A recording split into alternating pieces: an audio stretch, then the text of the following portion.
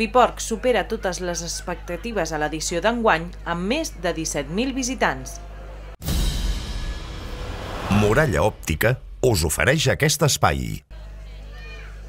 Després de dos anys marcats per la pandèmia, Fiporc, la Fira del Porc de Riudellots de la Selva, ha tornat a celebrar-se aquest darrer cap de setmana en plena normalitat.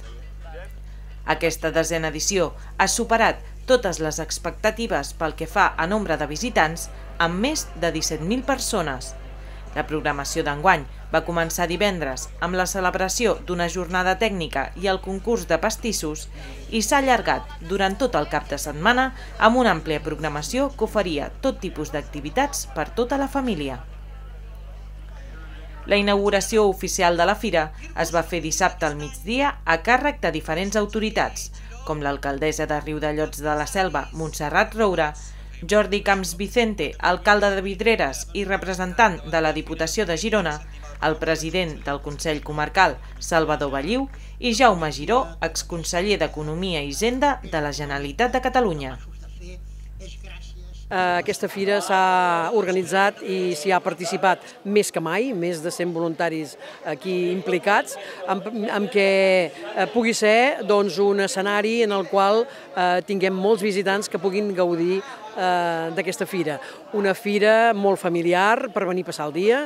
Tenim tota la diversitat d'articles o, de, o de productes del porc i també una brasa que ens cou eh, producte fresc però recent fet i també servit tot, servit per voluntaris. Per tant, eh, és d'agrair eh, aquestes ganes amb què s'ha eh, participat i s'ha col·laborat amb aquesta organització, perquè evidentment si la fira és un èxit és pel gran nombre de voluntaris i voluntàries que estan implicats. Per tant, estem contentíssims, agraïm amb ells, a tots els voluntaris i voluntàries que hi són, també un record especial pels que ens han deixat al llarg d'aquests anys, i bé, eh, nosaltres el que volem és que aquella cota de visitants que vam tenir el 2020, que era la que més, doncs que aquest any es repeteixi. Eh? Que es repeteixi, després de dos anys de pandèmia hem passat un petit parèntesi, però volem que aquest 2023 doncs, sigui un èxit.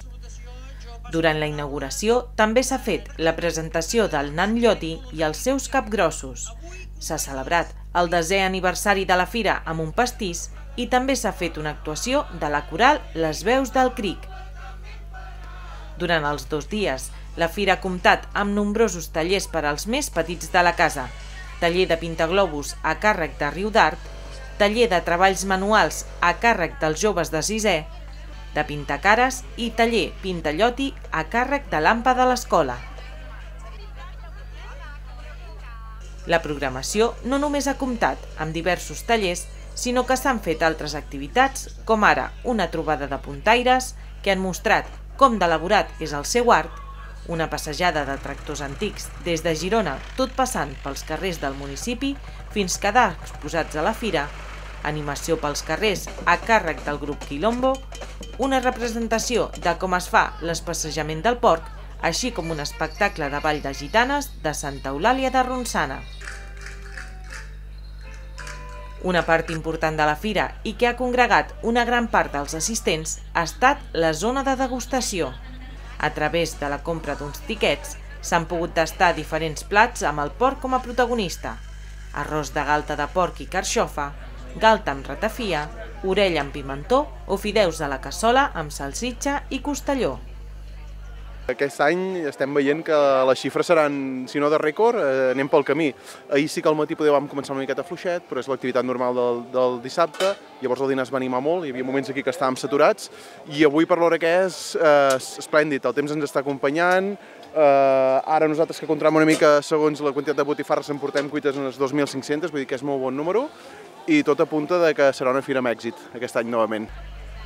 A banda de la zona de degustació, Fiporc també ha comptat amb altres zones amb animals vius, atraccions per als més petits i una exposició de maquinària agrícola.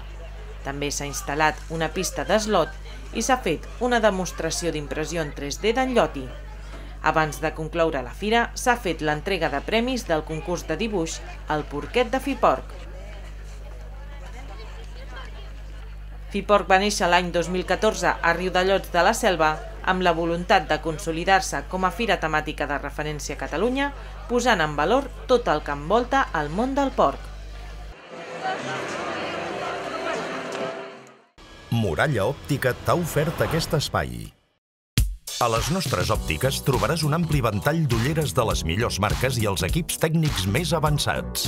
També t'oferim serveis d'optometria avançada, controls de miopia, lents de contacte especials, ortocà i teràpies visuals. Ah, i dient que vas de part de la Selva TV, t'oferim un 10% de descompte addicional al 50% que fem a tots els nostres productes. Demana la teva targeta a qualsevol de les nostres botigues Muralla Òptica. Ser client de Muralla Òptica és tenir molta vista.